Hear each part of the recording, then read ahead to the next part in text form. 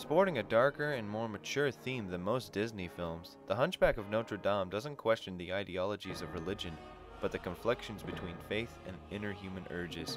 My name is Jeremy, and I host Listening to the Movies on 101.7 Civil Radio or on www.civl.ca. I play classic hits from great film soundtracks, and last week I made April the official Disney month for my show and played The Hunchback of Notre Dame. This movie is the 34th animated feature in the Disney library and it is one of my favorites. It is also one of the first to incorporate computer animation into its overall feature. It follows the story of Quasimodo, the deformed bell ringer of Notre Dame who yearns to leave his personal prison and live amongst the people.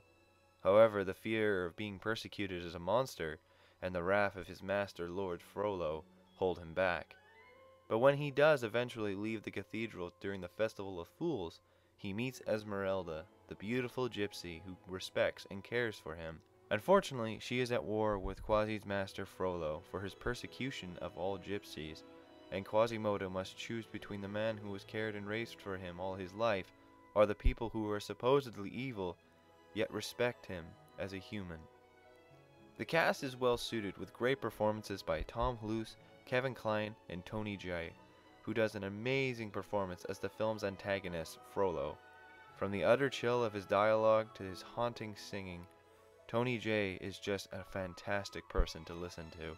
Alan Menken does a fantastic job of associating story and music together as one from the opening song to the final climax. Hunchback succeeds as being one of the more mature stories because of its overall theme, Frollo's hate and abuse towards the gypsies can be related to the Nazis' persecution of the Jews, along with the fact that he is torn between his faith and his natural urges with Esmeralda. The film shows that evil is not just a word, but a way of segregation, and the lack of understanding and patience people have for those who are different are just hard to understand. For example, Lord Frollo's Hellfire song truly expresses his inner conflict and how blind he is to his own evil.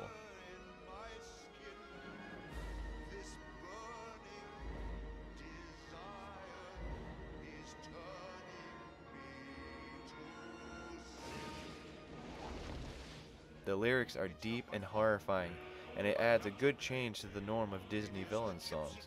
It's also why the guy with glasses named this the number one Disney villain song. While the music and story are good, there are some issues I find with the film. The gargoyles seem to break the norm for me.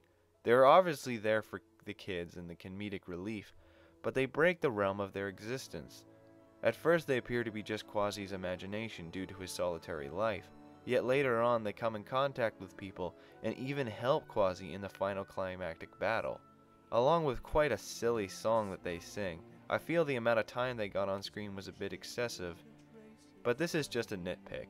Besides these guys and the scene where Esmeralda supposedly dies and then comes back to life, this film is a great achievement.